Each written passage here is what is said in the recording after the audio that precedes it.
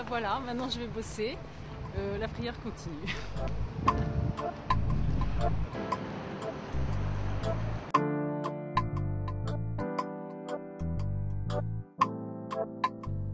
Vers l'âge de 20 ans, euh, je me, suis vraiment posé cette question de me dire bon, qu'est-ce que je fais de ma vie? Où est-ce que je vais? Soit je vis, euh, bah, je profite à fond de tout ce qu'il y a sur terre, de tout, de, voilà, sans règles, sans rien. Soit je cherche à comprendre si ma vie a un sens, euh, qui m'a créé, où est-ce que je vais, euh, pourquoi j'ai été créée. C'est vrai, j'ai senti le besoin de, de revenir sur les valeurs de, chrétiennes que j'avais que j'avais appris petite au catéchisme et finalement j'avais un peu laissé tomber au moment de l'adolescence, de les comprendre en, en profondeur. Quand j'ai j'ai- commencé un petit peu à, connaître l'Opus Dei, j'ai beaucoup aimé le message. Quand on m'a dit que je pouvais être contemplative euh, au milieu du monde, que mon travail, ma matière, ma relation avec les autres pouvait être prière, en fait, pouvait être euh, prière dans le sens où prier, c'est parler avec Dieu. Et, en fait, euh, voilà, bah, quand je travaille, je, lui parle, je pense à lui. euh, euh, il est là, en fait, il est présent. Enfin, comme une personne amoureuse peut faire quelque chose et penser à la personne qu'elle aime.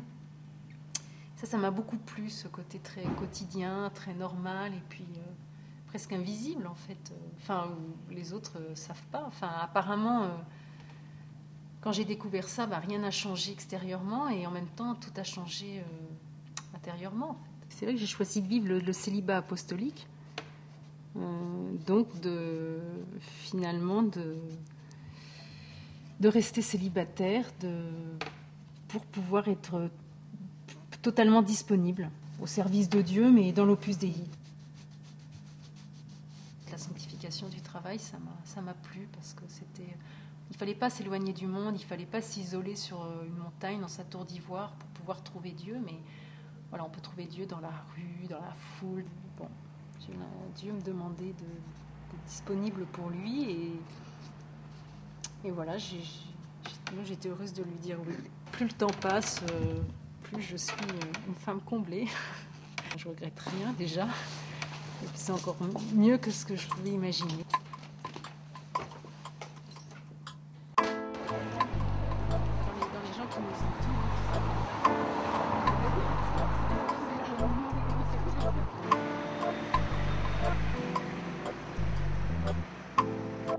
Je pense qu'Emali, c'est une personne très ouverte, quelqu'un qui est très disponible avec les autres. Et le fait qu'elle soit numéraire de l'Opus Dei, c'est un plus dans notre amitié, parce qu'en en fait, elle vit cette vocation de numéraire, que c'est vraiment euh, une vocation qui dédie euh, la vie euh, à aider les gens à trouver le sens de leur vie.